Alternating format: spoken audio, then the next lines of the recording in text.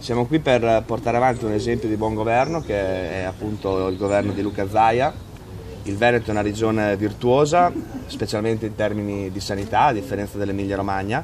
Leggevo sulla cronaca locale proprio di Bologna di qualche settimana fa che le persone anziane fanno le corriere per andare a Monselice, a Padova, perché i tempi d'attesa sulle visite specialistiche a Bologna in media sono di 85 giorni, in Veneto a Monselice dove c'è un accordo con il privato, dove c'è una strategia che riesce, a creare dei virtuosismi anche sui tempi d'attesa, sono 10 i giorni, il che la dice lunga. Così come anche i ticket sanitari emiliani sono molto più alti del ticket sanitario veneto.